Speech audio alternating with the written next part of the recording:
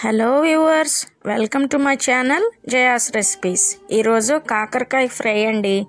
చాలా టేస్టీగా ఉంటుంది. ముందుగా కాకరకాయల్ని ఇలా సన్నగా తరుక్కుని ఒక గిన్నెలో వేసుకుని కొద్దిగా సాల్ట్ అండ్ కొద్దిగా పసుపు వేసుకొని ఇలా కలుపుకుందామండి. కలుపుకొని పెట్టుకుందాం. ఇలా కలపటం వల్ల సాల్ట్ కలపడం వల్ల ఏమవుతుందంటే ఇందులో చేదంతా దిగిపోతుందండి. చేదు ఉండదు. ఇలా మూత పెట్టుకుని హాఫ్ అన్ అవర్ తర్వాత ఇలా వాటర్ అంతా పిండేసుకుని చూడండి ఎంత వాటర్ వస్తుందో. ఇదంతా చేదండి.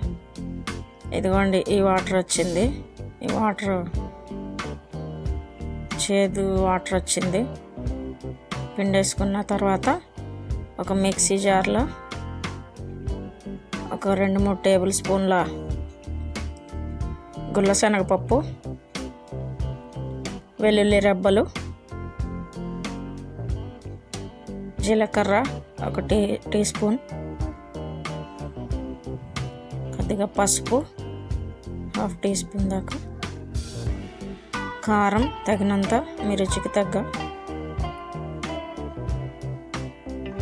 గరం మసాలా ఒక హాఫ్ టీ స్పూన్ ధనియాల పౌడర్ ఒక half one and half teaspoon వేసానండి నేను. గసగసాలు ఒక టీ స్పూన్ ఫుల్ అండి. కొబ్బరి ముక్కలు పచ్చి కొబ్బరి కానీ ఎండు కొబ్బరి కానీ మీ ఇష్టం అండి. ఏదైనా వేసుకోవచ్చు. నేను కొ పచ్చి కొబ్బరి వేస్తున్నానండి. ఇలా ఫైన్గా పౌడర్ చేసుకున్నానండి. తర్వాత బాండీలో నూనె వేసుకుని గ్యాస్ ఆన్ చేసి ఇందులో ఒక హాఫ్ టీ స్పూన్ ఆవాలు నాలుగు ఎండుమిర్చి ఒక హాఫ్ టీ స్పూన్ జీలకర్ర వేసి వేయించుకుంటున్నానండి. ఇందులో ఈ వాటర్ తీసేసిన కాకరకాయ ముక్కలు వేసి వేయించుకొని ఒక రెండు నిమిషాలు మగ్గించుకుని మూత తీసి మగ్గిన తర్వాత ఇందులో రెండు ఉల్లిపాయలు మీడియం సైజ్ ఉల్లిపాయలు కట్ చేసి పీసెస్ వేసుకుని వేపుకున్నానండి. ముక్కల్లో వేసిన సాల్ట్ కొద్దిగా వేసాం కదండి. ఇందులో ఇంకొంచెం సాల్ట్ వేసుకుని రుచికి తగ్గట్టుగా ఒకసారి కలుపుకొని మగ్గిన తర్వాత మనం గ్రైండ్ చేసుకున్న పౌడరు ఒక త్రీ టేబుల్ స్పూన్స్ వేసుకొని బాగా కలుపుకుందామండి. కలుపుకొని దగ్గర పడ్డ పడేదాకా ఇలా కలుపుకుందాం.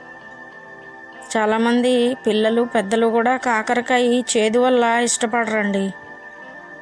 ఇలా చెయ్యండి ఒకసారి. చాలా ఇష్టంగా తింటారు. మళ్ళీ మళ్ళీ వండమని అడిగి మరీ చేయించుకుంటారు. చేయించుకుని తింటారు. ఇదండి కాకరకాయ ఫ్రై.